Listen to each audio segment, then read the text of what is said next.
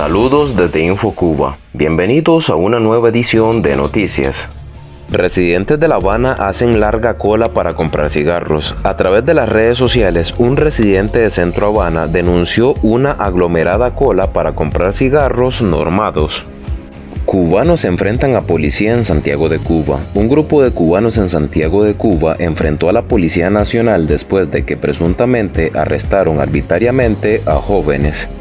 Opositores cubanos piden a Fiscalía fe de vida de José Daniel Ferrer. Opositores cubanos presentaron ante la Fiscalía Municipal de Boyeros una petición de fe de vida del líder de un PACUT, José Daniel Ferrer. Las teleclases cubanas, una práctica del siglo XX que fracasa entre los estudiantes de hoy.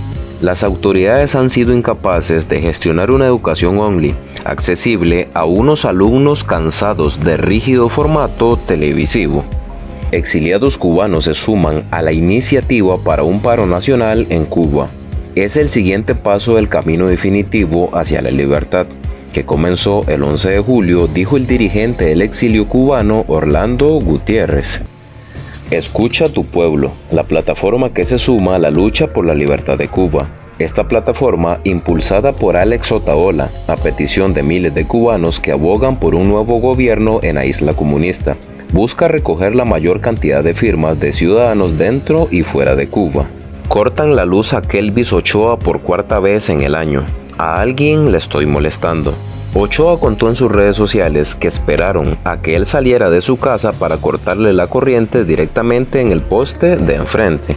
La seguridad del Estado detiene a la doctora Bayamo, miembro del gremio médico cubano libre. Los agentes se la llevaron presuntamente para una citación, pero al parecer intentan fabricarle un caso vinculado a un hecho de violencia, denunció la organización. Anciana cubana lleva cuatro años esperando una vivienda digna. Una anciana cubana discapacitada lleva ya cuatro años esperando por una vivienda, tras el paso del huracán Irma en el año 2017. Díaz Canel dice en la ONU que los cubanos no pasan hambre gracias a la libreta.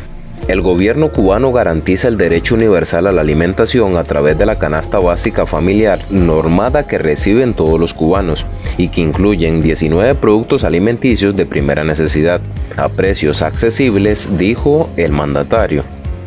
Cubano detenido en protesta de Cayo Obispo continúa preso aunque ya cerraron su caso. El artista y activista cubano se encuentra en prisión junto a Inti Soto Romero y Esteban Rodríguez López, los únicos que hasta el momento no han recibido un cambio de medida por expresarse en contra de la violencia de derechos humanos y apoyar al movimiento San Isidro en un espacio público.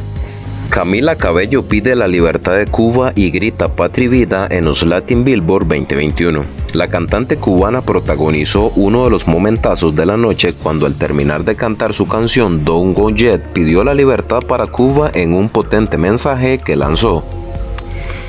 Junior García pone en jaque al tardocastrismo y en vilo a Cuba. La dictadura tendrá que decir cómo afronta el reto Junior y tiene tres opciones. Negar las autorizaciones y aguantar las críticas internacionales y cubanas. Autorizar las marchas ciudadanas y sentar las bases del entendimiento entre cubanos o autorizarlas, pero ordenando a sicarios infiltrarlas y cometer actos violentos para intentar deslegitimarlas.